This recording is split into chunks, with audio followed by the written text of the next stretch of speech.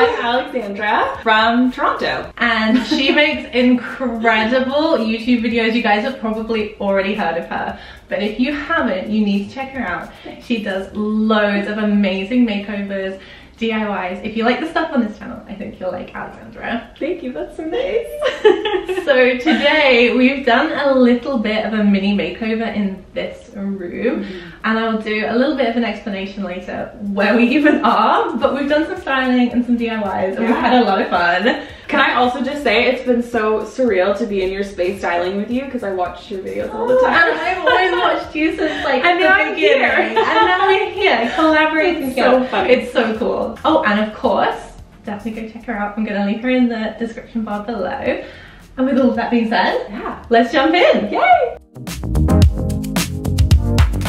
Hi guys, Hermione from the future here. I realize I didn't really properly explain what this video is about. This video is all about rental hacks that are really easy that you can do in a rented space that won't compromise your deposit. This flat is actually my nan's flat that she's renting in London. She uses it so that she can see family, but it's kind of just been left for six months with some hand-me-down furniture and it's just functioning as a base. So she's let me very kindly do the space up a little bit and at the end I'm going to show you her reaction but for now let's jump into the video.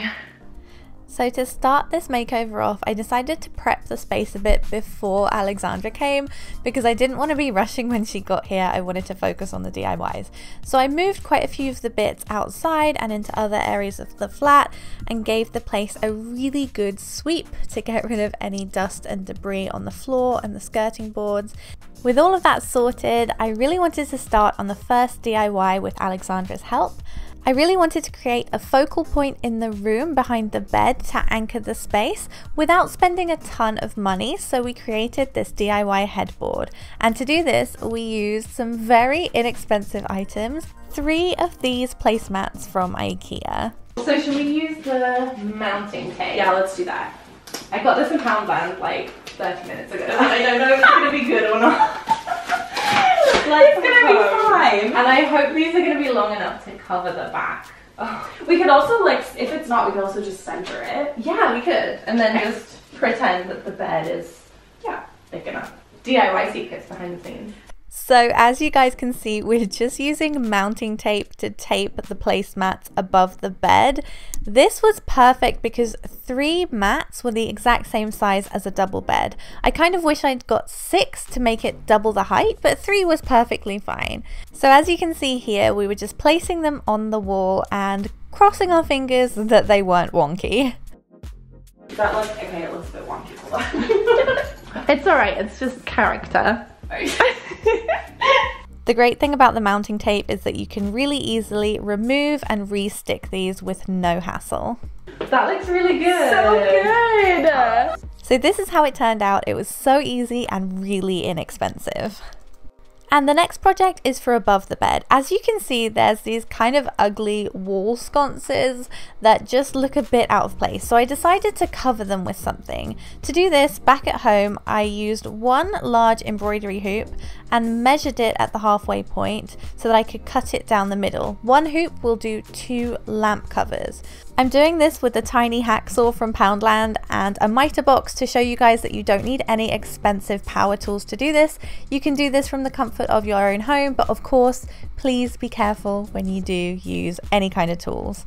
Anyway, as you could see just there, I was measuring how tall I wanted the covers to be. Once I decided that, I used a ruler to draw onto this square piece of dowel four equal pieces that I also cut with my tiny hacksaw. Once all the bits were prepared, I packed them in my suitcase and took them all up to London with a hot glue gun. These are the bits I had with some material. As you can see here, I'm trying to explain the DIY, but I'm not doing a very, very good job at this, so hopefully I can explain it via a video. We just used a hot glue gun to assemble the pieces together. As you can see, the dowels will stretch between the halves of the embroidery hoop, creating this kind of arched shape. Once you have that and your glue is dry, you can measure out the fabric that you'd like by rolling your structure on top of the fabric and cutting out the shape, leaving about an inch worth of excess on the sides to cover it around. And then with the hot glue gun, we're just folding the edges over, gluing them tightly into place, rolling the structure over really tightly so it's not baggy, and then doing the same with the other side. The only thing I would say about this is I really wish I'd used a thicker fabric because no matter how tightly we pulled these shades, they were a little bit baggy in the middle, so a thick fabric would work perfectly well for this. With all the edges tucked over, we had two shades that looked a bit like this and they were ready to be put on the wall, also using some mounting tape. You could use command tape or whatever you have lying around that would work too. So like that? Perfect. Good? Yep. Oh yeah, that holds way better. Oh, I like it. yes. Good. You know what it's missing? Pom-poms. It really is. so good. High five. High five. With that success in the bag, I wanted to show you how I was dressing up the bed with some very easy cushion covers.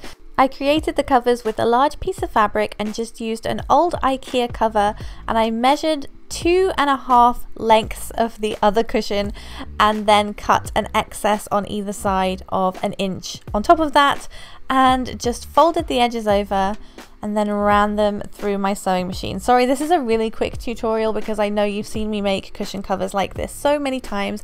It's just a basic envelope style cushion cover. So with that done, I just folded it over like so. Forget the fact that I haven't actually hemmed the edges here. This was before I put it in the sewing machine. But as you can see, you fold the bottom half up and the top half over into the envelope shape and then just line it up with your original cushion so that you've got the shape right before you run the sides as I'm showing you here through your sewing machine once again. Before you sew it together, make sure you've got all of the right sides facing inward so that you can turn it out once it's done and all of the seams are on the inside. You can hand stitch this or use a hot glue gun if you like if you don't want to use a sewing machine but I just find it really quick and easy to use my sewing machine. Once that's done all you have to do is put your cushion inside and add it to the bed. Creating your own cushion covers makes such a difference in a rented space, especially if you can't paint, it can add a really interesting pop of colour.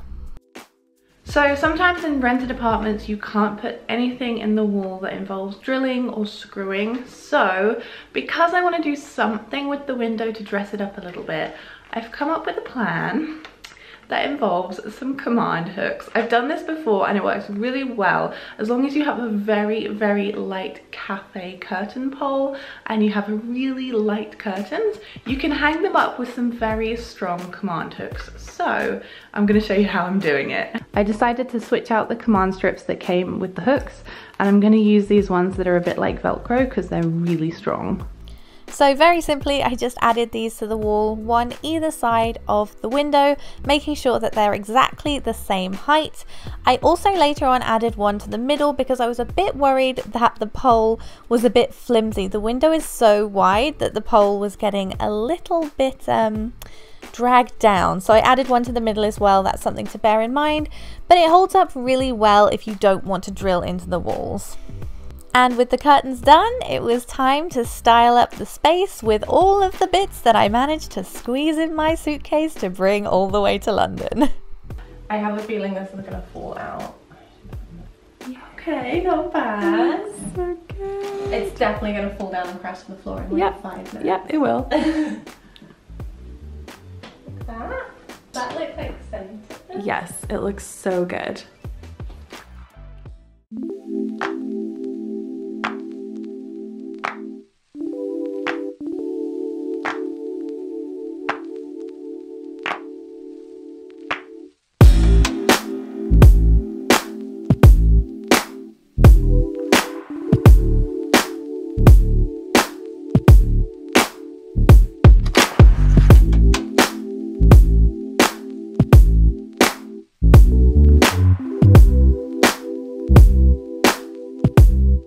So just to refresh your memory, this is what the bedroom looked like before. It was a pretty nice blank canvas, but there wasn't anything special about it. It was kind of a bit like a white box with loads of mismatchy furniture in it.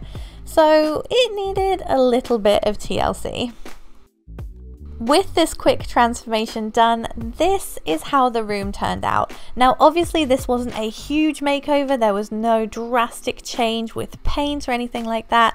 These are just some very simple hacks that you can do in your space that won't damage the walls and hopefully will leave you with your deposit fully intact when you leave your rented apartment.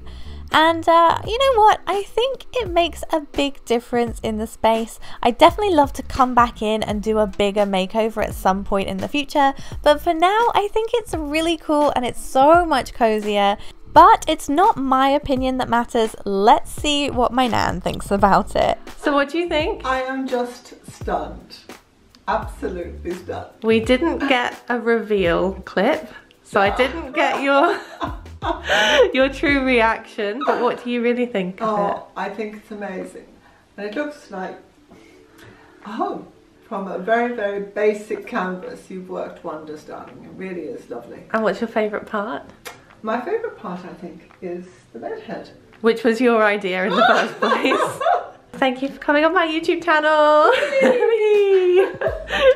With all of that, future Hermione out, to past Hermione and Alexandra, who are gonna outro the video. so that was everything for the styling. I hope you guys liked this video and I hope you enjoyed having a special guest. Thank you so much for collaborating Thank with me. you so much for having me. Thank you so much. And we've done a video on Alexandra's channel. Yeah. If you want to go check that out, go It's check down it out. below. Yeah, we answered all of your questions. We did like a huge Q&A. So yeah, if you're curious about DIYs and other things like that, go check it out. And with all of that being said, thank you guys so much for watching and see you soon. Bye!